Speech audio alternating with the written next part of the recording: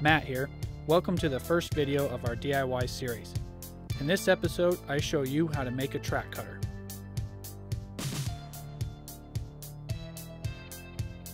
We will start with a 12 inch piece of tubing that gets cut into four 3 inch pieces.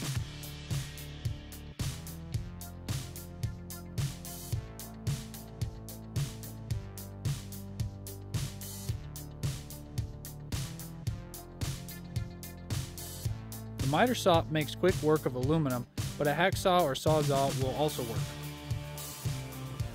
After all four pieces are cut, I take them to the lathe for finishing work. The ends are turned and faced on both sides.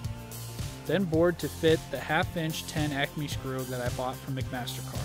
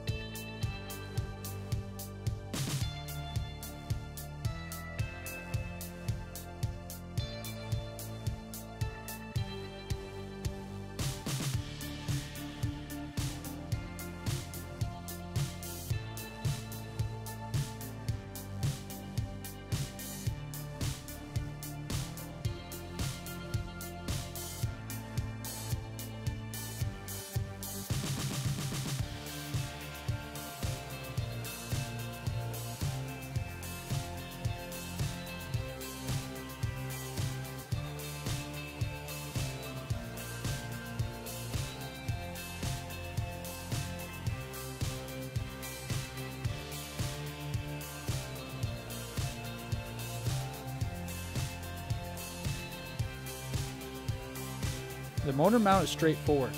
I printed out the downloadable drawing from McMaster-Carr. Cut out the print and used spray adhesive to attach it to a scrap piece of quarter inch thick aluminum.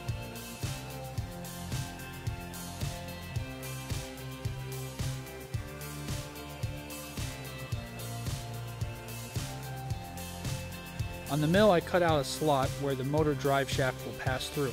A slot is not necessary, a hole would have done just fine.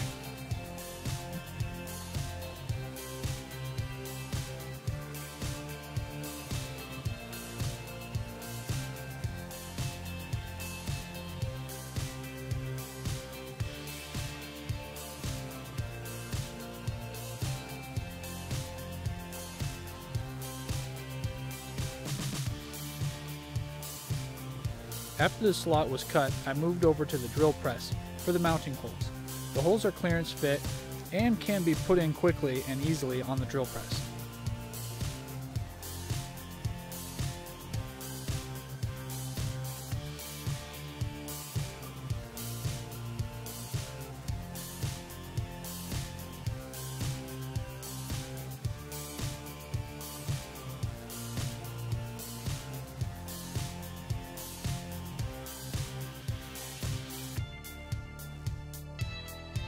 A little bit of acetone takes the print right off.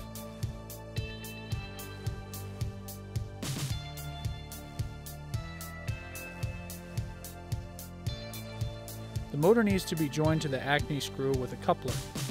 We will make that with this scrap piece of aluminum. I had to turn down the diameter in order to reduce interference with the extrusion beam.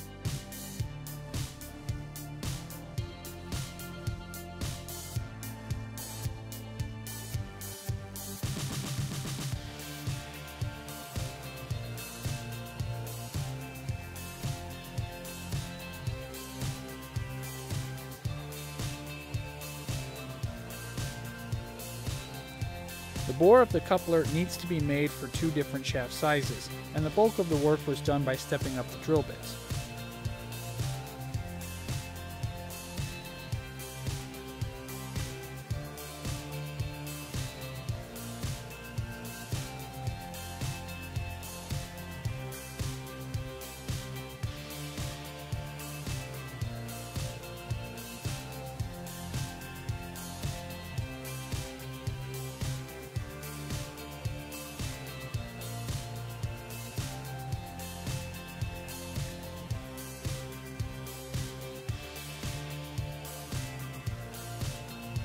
Then it's cleaned up with the boring bar and parted off.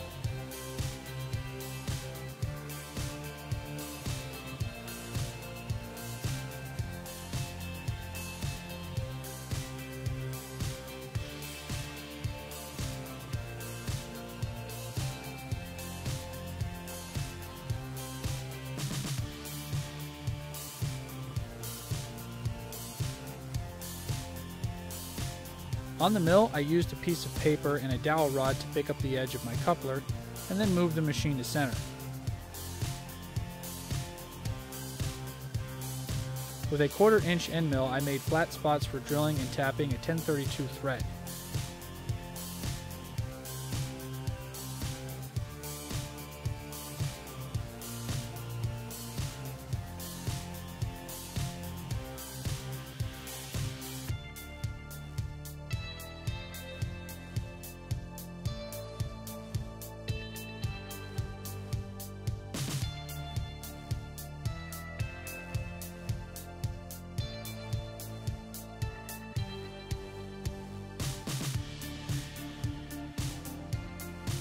I used the mill to do the tapping while I had the part set up. This ensures a straight tap in each hole.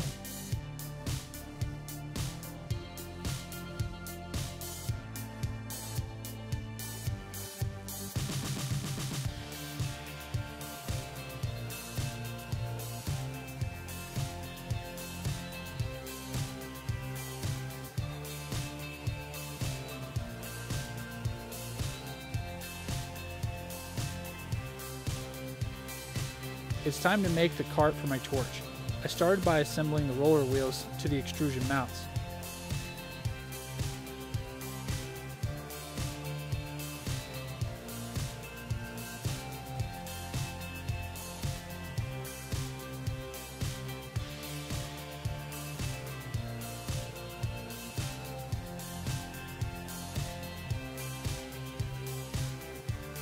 This quarter inch scrap plate will be cut down to size and milled with mounting slots for adjustment.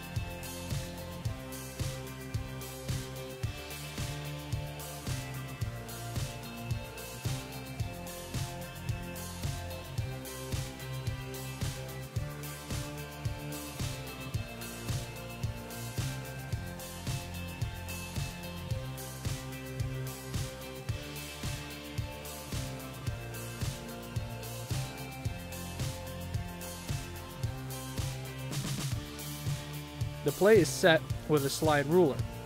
I will use this slide ruler to relocate the part each time I flip it to make each slot. The slots are clearance for quarter 20 bolts.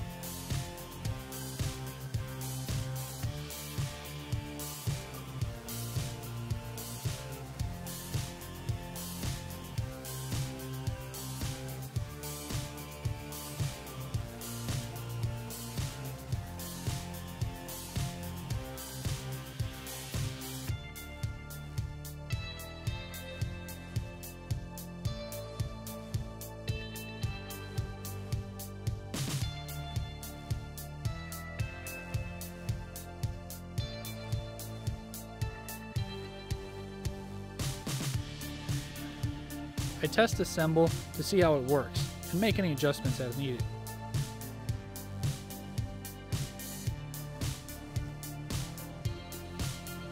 The Acme nut and mounting flange are needed to connect the cart to the screw. The pieces get welded together and then they're attached to the screw.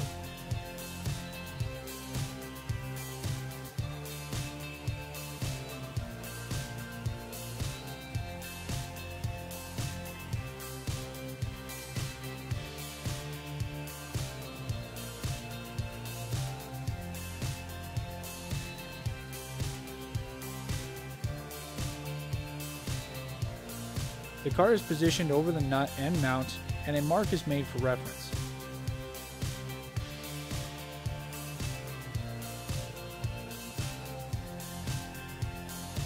The car is disassembled and in the center of the plate is found.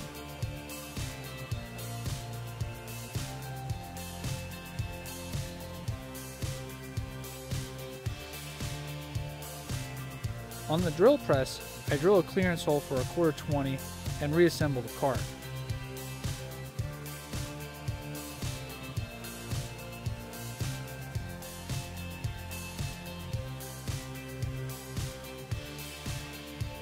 The cart and nut are attached together and we can use a power drill to test it out.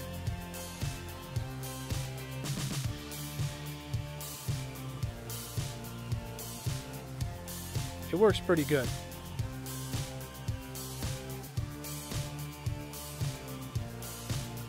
The drive motor is attached and the set screw is tightened.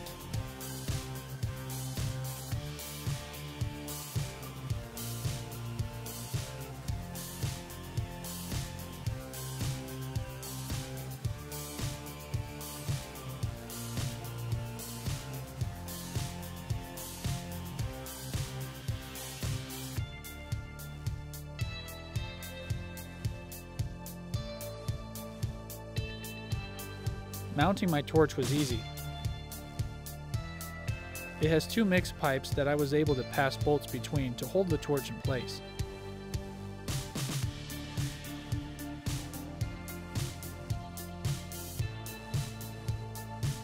The feet for the track were made with magnets and a bolt that was mounted to the bottom of some 1x1 extrusion.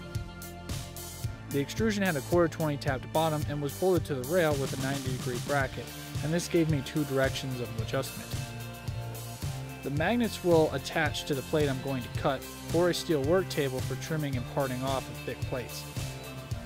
Let's make some cuts. Set the track up by measuring the feet.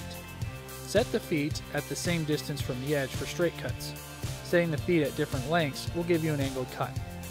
A pull rod holds the handle open while a rubber band is used to activate the oxygen. Tighten the set screw, turn on the torch, and set the flame correctly.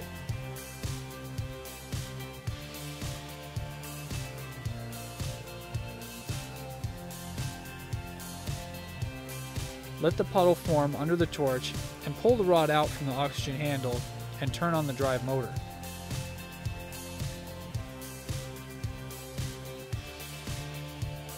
Keep water on your plate to prevent warping, and especially keep water on the magnets that will fail if they get too hot.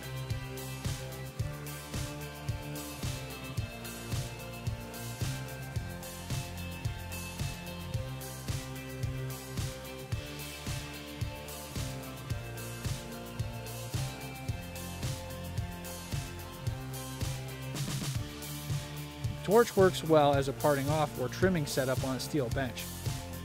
Use a power drill to reset the torch for your next cut.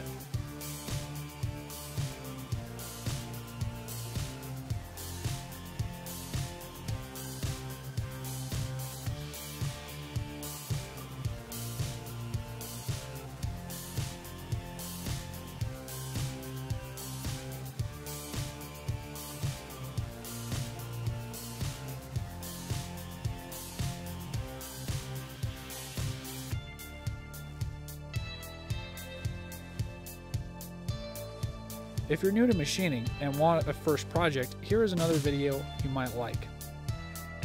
We also have a beginner series, be sure to check it out at our channel. This track cutter is for helping us make a 24 ton DIY press brake, and a link to that video is here.